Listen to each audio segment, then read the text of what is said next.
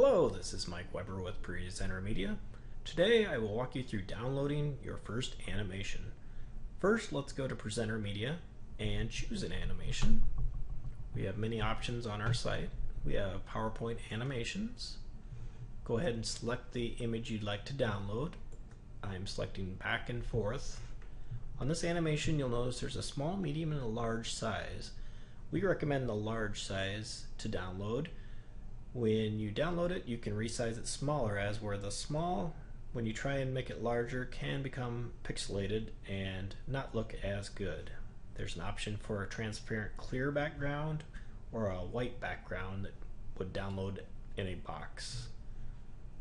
Go ahead and click the clear background. We're going to choose the large size. You'll see a tab form.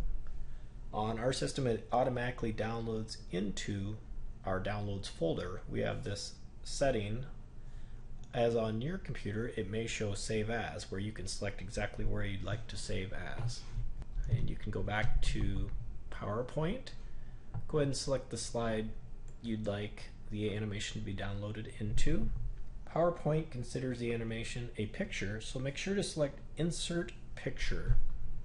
Insert picture then you can find where it is a that you saved it on your system. Go ahead and select that. Once downloaded, you can resize and place anywhere on the screen you would like. We're going to go ahead and run the slideshow now. You could either go to slideshow from beginning or you can click F5 to run the PowerPoint. And there's our animation. I hope this helps and thank you for listening.